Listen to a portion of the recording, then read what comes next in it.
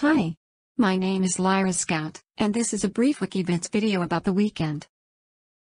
Abel Makkonen Tesfaye, born February 16, 1990, known professionally as The Weeknd, is a Canadian singer, songwriter and record producer.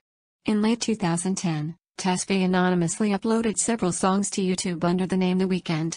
He released three nine-track mixtapes throughout 2011, House of Balloons, Thursday and Echoes of Silence which were critically acclaimed. In 2012, he released a compilation album trilogy, 30 tracks consisting of the remastered mixtapes and three additional songs. It was released under Republic Records and his own label XO. In 2013, he released his debut studio album Kissland, which was supported by the singles Kissland and Live For. His second album, Beauty Behind the Madness, which became his first number one album on the US Billboard 200, included the number 3 single Earned It and produced the number 1 singles The Hills and Can't Feel My Face. The songs have simultaneously held the top 3 spots on the Billboard Hot R&B Songs chart, making him the first artist in history to achieve this. The Weeknd has won 2 Grammy Awards and 9 Juno Awards.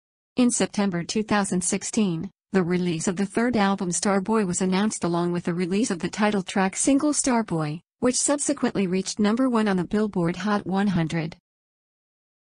Well my friends, I hope you've enjoyed this brief video about the Weeknd. Until next time, this has been Lyra Scout for WikiVids.